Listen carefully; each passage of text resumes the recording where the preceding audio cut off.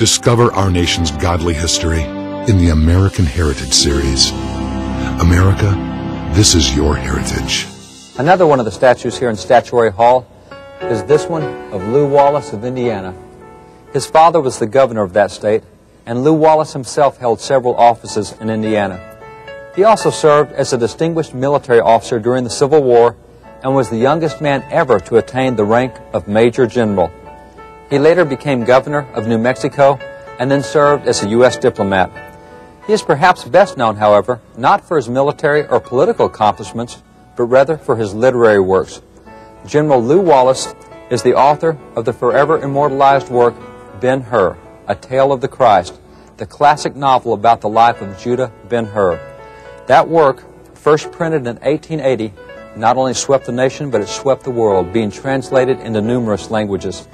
Interestingly, the impetus for this work began in 1876 when General Wallace conversed at length with Robert Ingersoll, a co-officer from the Civil War. Ingersoll, titled by the press as the Great Agnostic, was the national evangelist for atheism. In his conversation with General Wallace, Ingersoll first forcefully asserted that there was no God, no devil, and no afterlife, and then challenged Wallace to try to prove that Jesus was the Son of God. Wallace was disturbed by the conversation and found himself ashamed of his own ignorance about the topics raised by Ingersoll, and especially of his own lack of knowledge about the life of Jesus.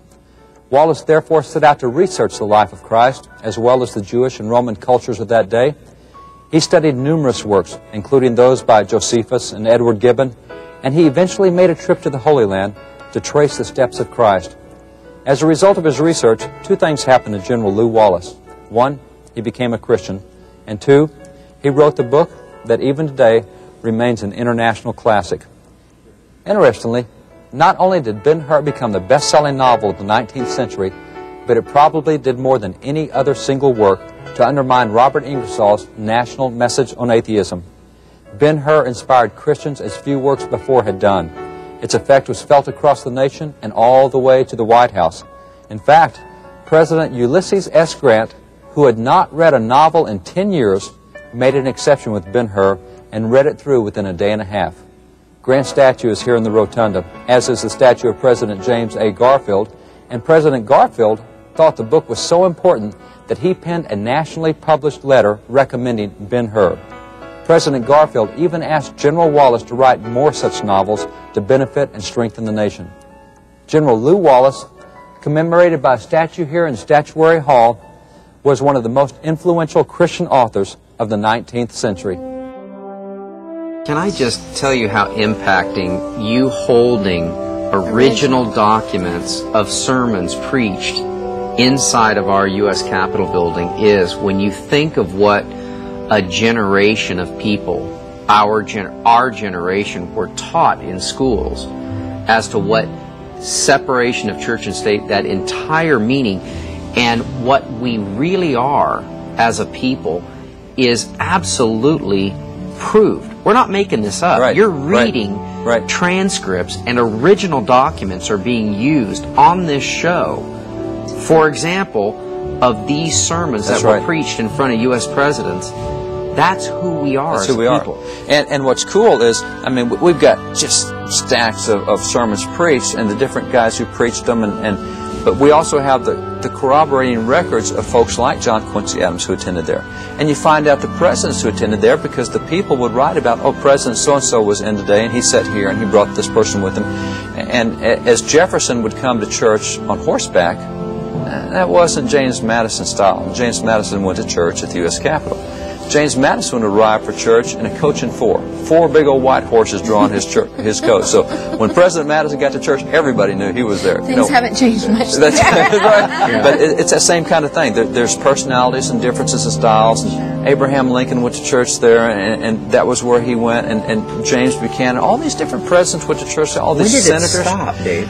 It stopped sometime in, in the late 19th century. Uh, there was no official act of Congress that caused it to stop. There was no controversy, no dissension, nothing in the records. It just kind of faded out. This man is Alexander Hamilton. You'll find a statue of him in the rotunda. Not only is Alexander Hamilton a signer of the Constitution, but by being an author of the Federalist Papers, He's considered one of the three men most responsible for us having the Constitution today. You may recall that Alexander Hamilton died a premature death at the hands of Aaron Burr in a duel in 1804. Although trained in the art of war and weaponry, Hamilton was one of those who disapproved of personal duels.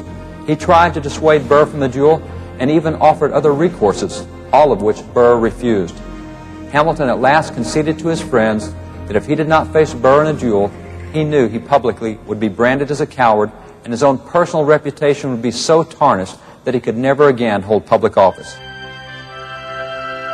One other consequence of Hamilton's untimely death was that it permanently halted the formation of a religious society Hamilton had proposed. What was that society? Hamilton suggested that it be named the Christian Constitutional Society and listed two goals for its formation. First, the support of the Christian religion, and second, the support of the Constitution of the United States. This organization was to have numerous clubs throughout each state which would meet regularly and work to elect to office those who reflected the goals of the Christian Constitutional Society. This proposed society, whose first goal was to support the Christian religion, was the design of Alexander Hamilton, another of the many men of faith who had a significant influence on the founding of American government.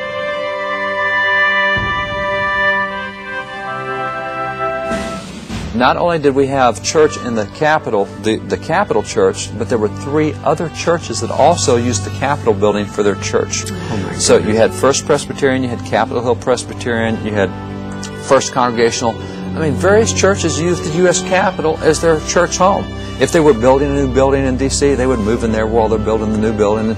And so you, you literally had church services going in the hall of the House, you had church services going in the Senate chamber. You had church services going in the Supreme Court chamber. And yes, the Supreme Court did meet in the Capitol. It wasn't until 1935 that they got a separate building and moved out from under the watchful eye of Congress. But you have four churches meeting in the Capitol building. I goodness. This, this concept that it's a secular building filled with secular minded people, absolute nonsense. On any given week in Congress, we have 120 members of Congress active in one of the four major Bible studies in Congress. We got great chaplains at the Congress. They preach great sermons and do great ministry at Congress. We have great members of Congress who are still godly Christian statesmen, just as we've had for 200 years. That is not a secular building. Some secular activities go there, but because of what we see on the media, we think the whole thing is secular, and it's not. So when we look at the U.S. Capitol, we're looking at what was a huge church, but it was also a church, if you will, filled with a lot of Christian statesmen who acted out of principle and conviction. That secular building is one of the greatest religious museums in American history. For more information on the American Heritage Series or to find books and other resources, visit wallbuilders.com. Through the American Heritage Series, renowned historian David Barton communicates our nation's forgotten, godly foundations and encourages us to once again view history through a truthful lens. For only when we recognize and embrace God's hand in our history can America become all that it was intended to be. Through Wall Builders, historian David Barton seeks to rebuild the walls of America's unique religious, moral, and constitutional heritage by educating the public and encouraging people of faith to become active in strengthening America's great foundations. For more information on how you can become involved, visit wallbuilders.com.